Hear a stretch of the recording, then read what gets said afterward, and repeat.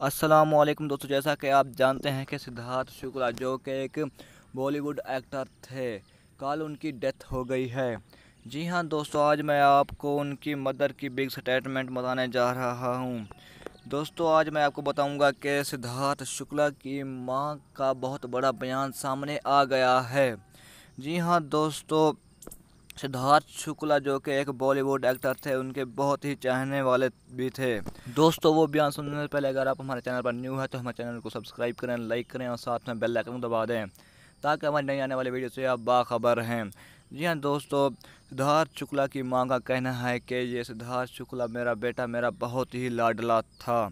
मैं अपने बच्चों से सबसे ज़्यादा इसे प्यार करते थे और आज ये मुझे छोड़कर चला गया है। मैं इसके बिना कैसे रह पाऊँगी? वो बहुत ही रो रो कर कह रही है।